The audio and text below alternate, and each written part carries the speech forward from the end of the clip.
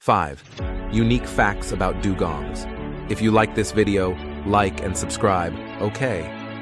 1. Dugongs have been around for about 40 million years and likely had semi-aquatic ancestors.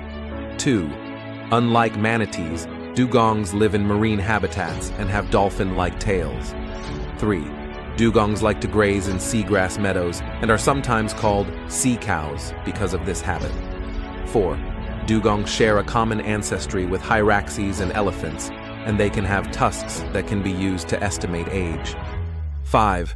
Dugongs have small brains, only about less than 1% of their body weight.